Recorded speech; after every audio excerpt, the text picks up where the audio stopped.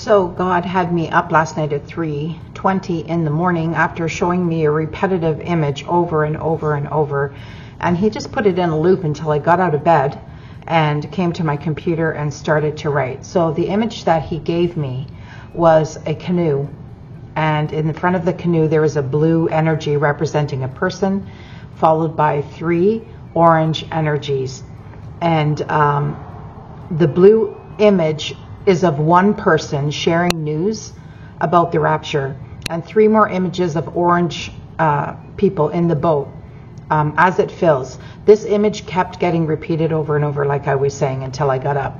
So I'm going to just go through my notes here um, and tell you the verses he told me to read. So I'd like you to actually read the verses instead of me going through all of that, and I can tell you what he told me about each one. So he says, Jesus said to me, You're all in the same boat. One person declares a message from me, and everyone else joins in with their own understanding of my word on that topic. Do you see that in the word there is so much contradiction, multiple meanings if it is not discerned? And then he says, please read John 1 6 to 11. This applies to the lot of you. In this time, wanderers with little true understanding. Please get your Bible. So then I read the verse, and he explains this to me so that I will understand. God sends people ahead of Jesus to share his works and his words so that more people will come to him. But even in his own place, he came to what was his own place, but his people did not accept him. So he's saying when people share the word of God, their following a lot of times don't believe them. They think they're crazy or, or they're losing it. They don't understand why they're sharing these messages and they don't believe it. Same thing happened to Jesus in his own town, okay? Um, I also wrote down John 3, verse 6 to 11, because I was guided to do that. And um, this is that verse. What I'm about to tell you is true. We speak about things we know, we are witnesses about what we have seen. But still, you people do not accept what we say. And Jesus was talking to Nicodemus in the Bible, but he was telling me or showing me that it's always that way. We speak, those that speak out for God speak about what He shows us and what He's, um, what we've been witness to, either in visions or, or hearing or whatever from God. Um, and the, the, people still don't accept it because it's not uh, the way they're expecting it. He says, This is the lesson, this is the test. And he's telling me now, people are going to question God doesn't test. Well, he does if you go back in the old Bible and don't ask me the verses, but um, when you're told to sacrifice your own son, is that not a test of your heart or your obedience? Okay, whoever that was in the Bible, I don't remember, but okay, that's part of it. Um, he goes, This is a lesson, this is a test, and how it will always be with human experience. A hierarchy in the mind dictates what someone feels is authority. But the truth is, I love you all. I am the Father with much love for you and the world.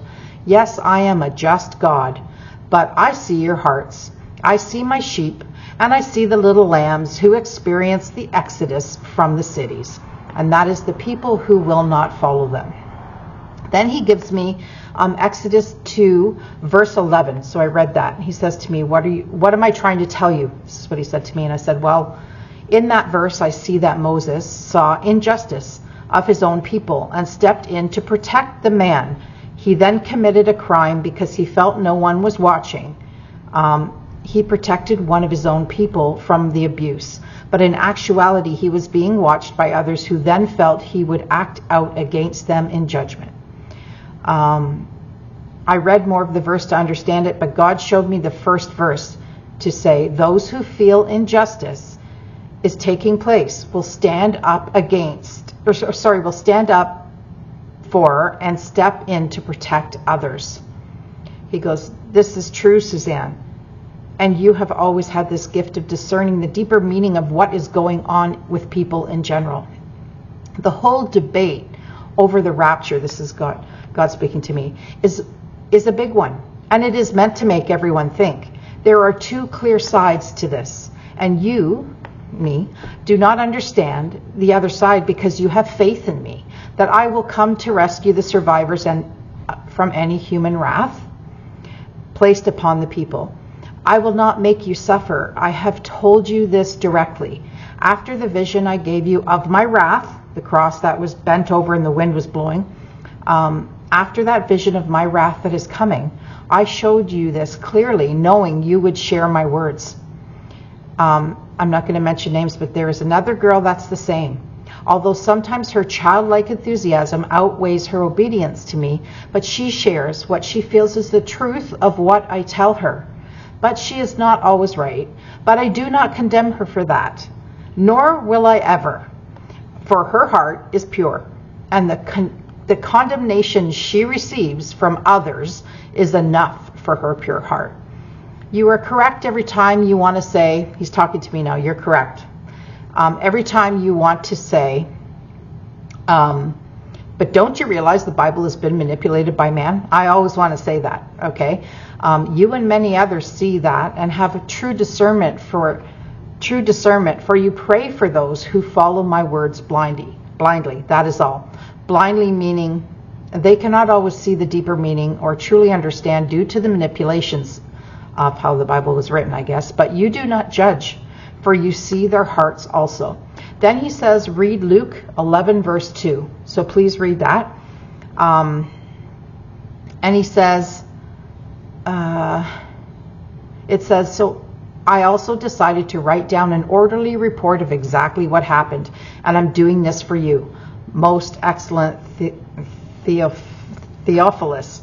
I want you to know the things that you have been taught are true. So when, when I read that verse, okay, God was saying to me, basically, um, when he speaks to us, like he speaks to this person in the verse, um, he's he's speaking to us truthfully, and what he's telling us is the truth. Okay, um, and then I accidentally wrote down the wrong verse. I wrote I realized that I had written down Luke verse two instead of Luke two verse eleven, and he says there are no mistakes, Suzanne. So read Luke eleven verse two. Um, and this is it. Jesus said to them, When you pray, this is what you should say Father, may your name be honored and may your kingdom come. So when you give messages to the masses in this day and age, be honest, be truthful to your own ability of my understandings of what I have shared. Honor the Father and preach to him to come. That is the rapture. That is the second coming. That is the end days when you all shall reign and prosper with the Father. Okay, uh, now I think, I'm thinking in my head now that when somebody hears this, they're going to pick that apart. Okay, the second coming, the rapture, and us all being reigning with God, right? And Jesus says, Suzanne, for I have spoken. Let no man, no man dictate what they do not understand to one of my sheep that I have called into action. No one knows the right hand of the Father better than I do. Your Lord and Savior, Jesus. And he goes, Yes, you call me Jesus. So that was the end of the message he gave me. Oh, and as I was, I could, I could feel his energy leaving. He says, Do not judge. And then he shows me that big, big smile. He has this beautiful big smile. So that was the end of the message that um, I got last night. I wasn't sure whether I should share it or not, um, but I'm feeling guided to share it and hope that you all get some insight from it. There's many of us out here that truly do connect with God, and there's a lot of scoffers. There's a lot of people that can't understand that because they truly, I don't feel, have the same connection um, that someone does who maybe gets visions or or can hear or is shown plain plain visions or whatever, you know.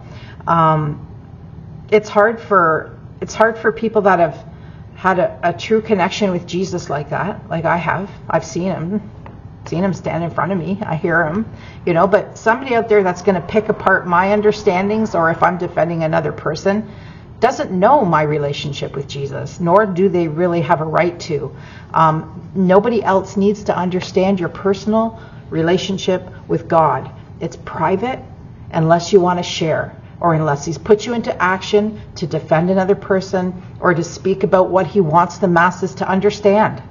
And uh, you know, I I just feel for the people out there that pick pick at others and feel they're justified and they're called into action. The Bible has been manipulated over the years. And I mean, that's a fact. And a lot of things are different in the, in the Gospels than they are in the New Testament. Jesus died for us, for our sins, shed his blood, and we are covered in that if we believe in him and we have given our heart to him. He has erased all sin. So if somebody steps out feeling they have they are speaking to Jesus and they're sharing a message and they truly feel that's what they're doing even if they're not even if it's untrue and it's a sin we've been cleared of all of our sins. And that is something that a person does from the heart. It's not something intentional where they set out to hurt another person. So i think a, a lot of you out there need to just chill out. And, and there's enough division in the world and there's enough um, bashing and and there's a lot of trolls on here you know? It's not hard to pick out the trolls you know the ones that feel they need to get in there and pick pick pick you know i learned that the hard way years ago on my youtube channel so i've grown a bit of a tough skin. But uh, jesus came to me last night with this message with a different energy of i can't believe that you're letting those people bother you because i shared a message with a friend and it got attacked by multiple people. So it did bother me a bit because, uh, you know, when somebody comes up against you and you know you're speaking from the heart and you know your relationship with God and He stood in front of you and said, You walk with me, okay? When those people don't understand that, it can be hurtful, right? But He came in with almost a just attitude, like, Okay, let me remind you of how this works, okay? And, and stay fast on your course and, you know, the other the other ladies out there and gentlemen that are sharing the word of God just need to keep going and not let the scoffers bring them down. Anyway, I hope you all have a great weekend and I'll talk to you again.